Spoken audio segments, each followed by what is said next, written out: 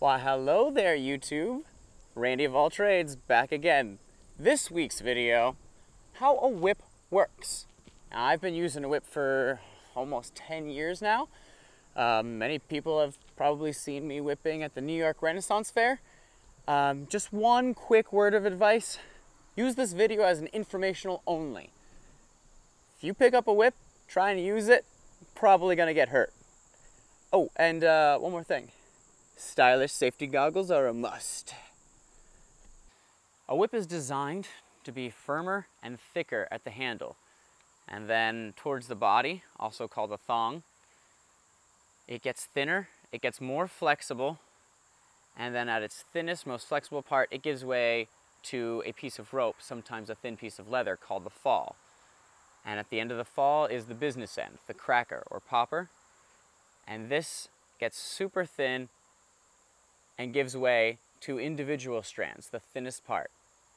And the way a whip actually works is with a simple change in momentum. The rest of the whip wants to continue on in that first direction and it creates a loop.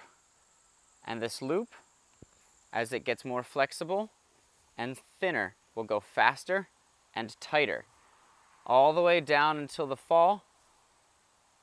And the fall will give way to the popper, which then spins around this curve at the speed of sound.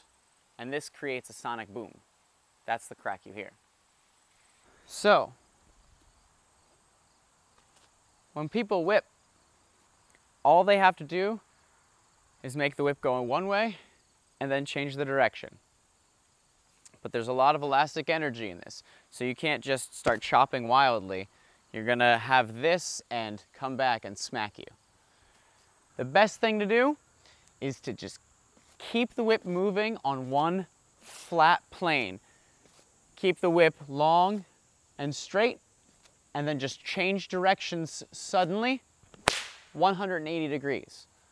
That's all done with the handle, just flicking the handle the other direction.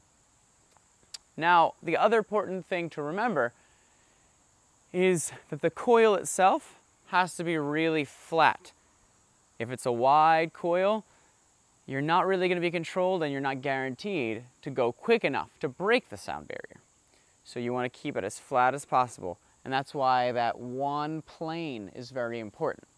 You can change that plane to be anywhere. It could be forward, it could be sideways, it could be overhead, hell, it could be backwards.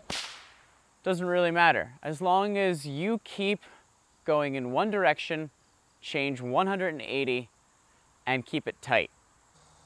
So how about we have some fun now?